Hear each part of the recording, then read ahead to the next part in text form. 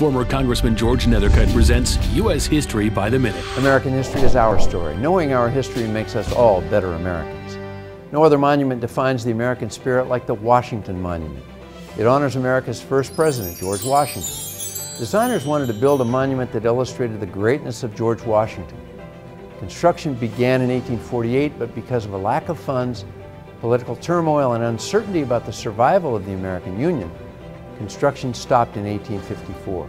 The monument stood incomplete for years. Finally, in 1876, President Ulysses S. Grant authorized the project to be completed. The monument was finally dedicated in 1885. It's the tallest structure in Washington, D.C., reminding everyone who sees it of America's long fight for freedom and independence.